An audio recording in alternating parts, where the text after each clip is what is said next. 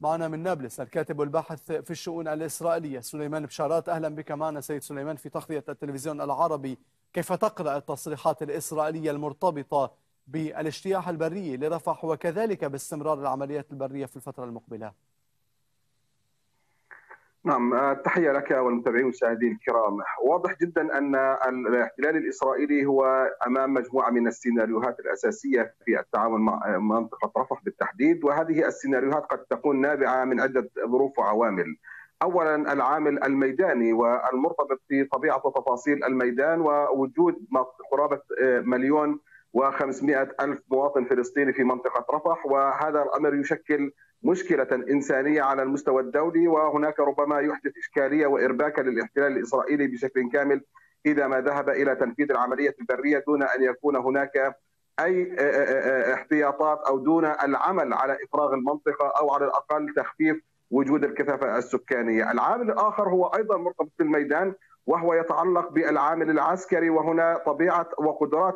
الجيش الإسرائيلي مقابل قدرات المقاومة الفلسطينية، الاحتلال الإسرائيلي على مدار الأسابيع القليلة الماضية يحاول إطلاق بالونات اختبار ما بين الفينة والأخرى يحاول من خلالها جس نبض وقدرات المقاومة في منطقة رفح. فيتحدث في بعض الأوقات عن أربعة كتائب للمقاومة الفلسطينية وفي أوقات أخرى يتحدث عن قدرات أضعف يريد أن يحصل على معلومة من المقاومة الفلسطينية أو من أي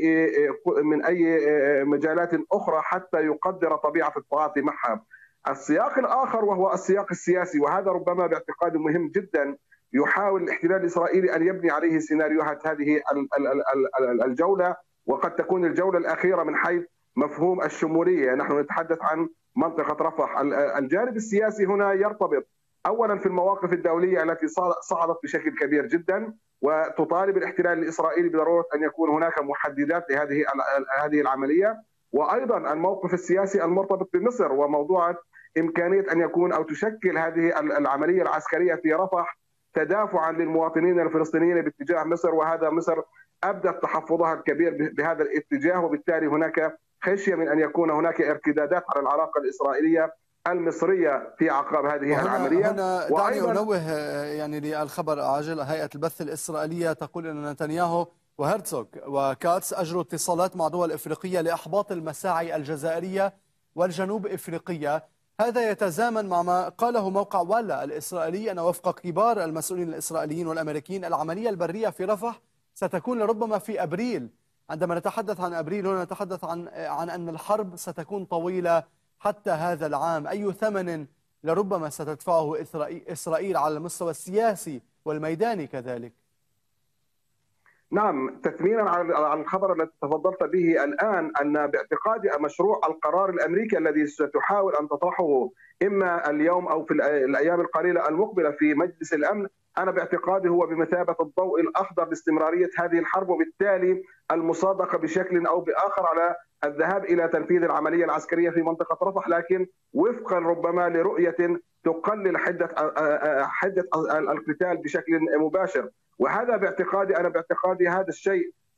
سيكلف الجيش الإسرائيلي والاحتلال الإسرائيلي أثمانا متعددة. الثمن الأول وأنا باعتقادي الثمن الكبير الذي ستدفعه إسرائيل سيكون ثمنا سياسيا. إسرائيل في في الآونة الأخيرة وفي الأسابيع الأخيرة وفي ظل هذه الحرب وتداعياتها باتت تفقد الكثير من صورتها السياسية، باتت تفقد الكثير من طاقتها، باتت تفقد الكثير من المواقف التي كانت تشكل ضمانا واعتمادا للسردية الإسرائيلية، اليوم هناك كسر للسردية الإسرائيلية وعدم تقبل بها بشكل كامل وباعتقادي جلسات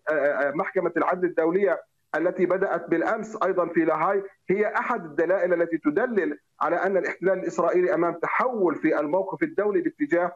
احتضان الرواية الإسرائيلية بشكل كبير جدا، الثمن الثاني وأنا باعتقادي هذا ربما مهم وقد يكون مخاطرة بالنسبة للاحتلال الإسرائيلي هو قد يكون على حساب الأسرى الإسرائيليين، الأسرى الإسرائيليين باعتقادي كلما طال أمد هذه الحرب سيكون هناك خطر على حياتهم. وهذا ما حذر منه الكثير من المراقبون وحتى الكتاب الإسرائيليين يدركون بشكل كبير جدا أن بنيامين نتنياهو ربما يقامر ويغامر بحياة الأسرى الإسرائيليين في يد المقاومة الفلسطينية وبالتالي هناك خشية متصاعدة أن يكون هذا الثمن واضحا وفي المعركة إذا ما استمرت إلى أسابيع أو شهور قليلة مقبلة، أما الثمن الثالث وهو باعتقادي على مستوى العلاقة الجيوسياسية الإسرائيلية في منطقة الشرق الأوسط، الولايات المتحدة الأمريكية أرادت أن تقدم طوق نجاة لبنيامين نتنياهو في في الذهاب إلى إمكانية أن يكون هناك صفقة سياسية من خلال عملية التطبيع وتعزيز العلاقة الإسرائيلية في منطقة الشرق الأوسط، لكن باعتقادي إطالة أمد هذه الحرب